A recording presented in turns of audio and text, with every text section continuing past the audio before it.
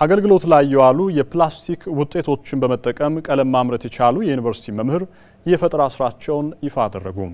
ቀለሙ በውሃ የሚቀጥንና ለረዥም ጊዜ የማይለቅ በመሆኑ ልዩ እንደሚያደርገውም የፈጠራ ባለቤቱ ተናግረዋል። አለምነህ ሀዛ ነው ተጨማሪ አለው።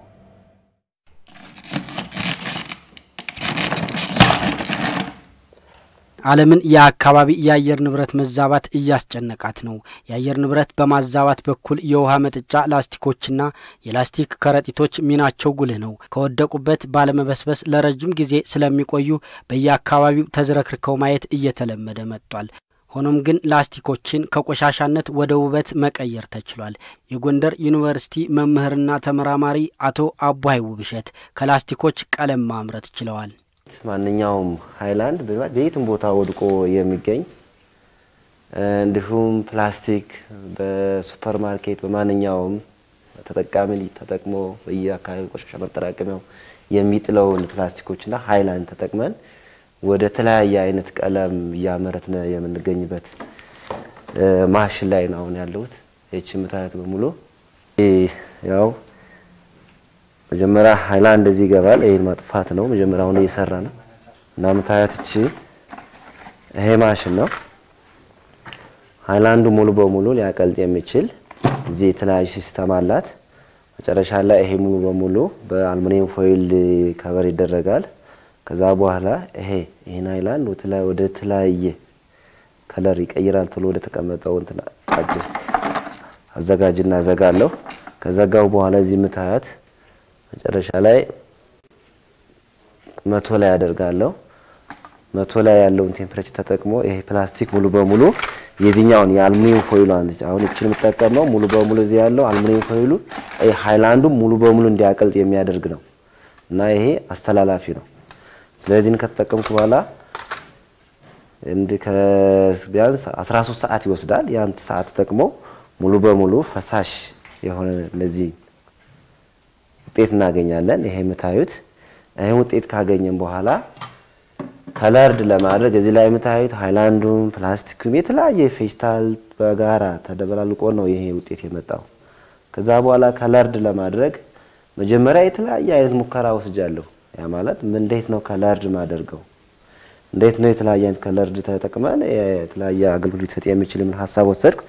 ከብዙ ድካም በኋላ እቺን oven ውሃ የሞላ oven አለ አስቀምጣለሁ። oven ላይ 30 ዲግሪ ሴንቲግሬድ ሲሆን temperature ኡ ነጭ ቀለም ይሆናል የምታዩት።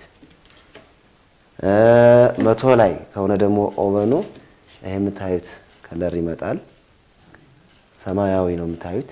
ሰማንያ ላይ ከሆነ ደግሞ ይህ አረንጓዴ color ይመጣል። እስከ ዘጠና በላይ ከዘጠና አምስት ከዘጠና ሶስት ሁለቱን ሬንጅ ተጠቅሞ ደግሞ ቢጫ ይሆናል እና የተለያየ አይነት ነው። ወደ ሁለት መቶ ስናስጠጋው ዙሮ ወደ ነበረበት ይመለሳል። ውሃ ቀለም የለሽ ነው የሚሆነው እና ይሄን የመጀመሪያ ሙከራ ማረጋግጠው ከላይ እዚህ የተመረተውን sample አፈሳለሁ ጣውላ ላይ እቃ አስቀምጣለሁ። ሙሉ በሙሉ ከያዘው ያ color ያ ቀለም ህንፃ ላይ እንትን ቢደረግም እንደሚይዝ አረጋግጣለሁ። አርባ ኪሎ ቀለም ለመጀመሪያ ሙከራ ተወሰደ። ያ ከለር አሁን ሙሉ በሙሉ ቤት ተቀብቶበት እስካሁን አለ። ድጋሚ አሁንም አንድ ቤት ቀብተናል። ሁለት ቤቶች እስካሁን አሉ። ለየተለያየ ከስድስት ወር በኋላ አንዱን ከስድስት ወር በፊት አንዱን እና ይህን እየሰራ እንገኛለን። ቀለሙ በቀላሉ የማይለቅና በውሃ መቅጠን የሚችል በቀላሉ ሊመረት የሚችል በመሆኑ ልዩ ያደርገዋል። ተመራማሪው የጥናት ግኝታቸውን ለማሻሻል ፕላስቲኮችን አቅልጦ ቀለም ለማድረግ 13 ሰዓት ይወስድባቸው የነበረውን ለማሻሻል እየሰሩ እንደሆነም ገልጸዋል። ነገ ነገ በኋላ ወደ ሰፊው እንትን ወደ ደህና ምርት ለመግባት ሲፈለግ ሲታሰብ እያንዳንዱ ጥራት ያለው መሳሪያ ጥራት ያለው material ይወሰዳል። ከዚህ ውስጥ ያለው አሁን ይሄ የመጀመሪያ ሙከራ ነው። በመሀል ግን መአት ክፍተት አለ። 13 ሰዓት የሚወስደውን ቀስ በቀስ ቀስ በቀስ ወደ አንድ ሰዓት ወደ 30 ደቂቃ ይመጣል። እያ የማደርገው ደግሞ እኔ ብቻ አይደለሁም። ሁሉም ሰው ጥሩ idea ያለው ሰው ለሙያው ብቁ የሆነ አሁን እዚህ የምታዩት እኔ ኬሚስትሪ ነኝ።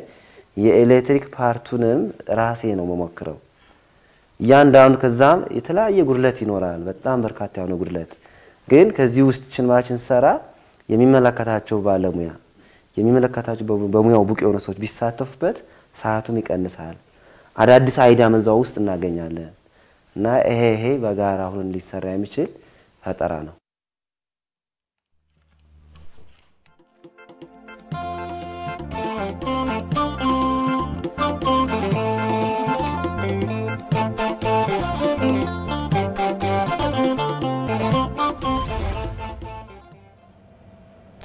ከአማራ ቴሌቪዥን ዜና መጽሔታችን እንደቀጠለ ነው። ወደ ውጭ ዜናዎች ነው የማልፈው።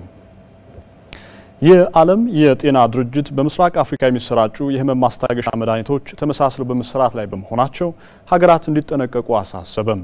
ድርጅቱ እንደገለጸው እነዚህን ሀሰተኛ መድኃኒቶች በድንገት በኬንያና በዩጋንዳ ባደረገው አሰሳ በመሸጫ ሱቆች ማግኘቱን ያስታወቀ ሲሆን ከሽፋናቸው ውጪ በምንም መልኩ ይዘታቸው ትክክለኛ አለመሆኑን ማረጋገጡን ገልጿል። የኬንያ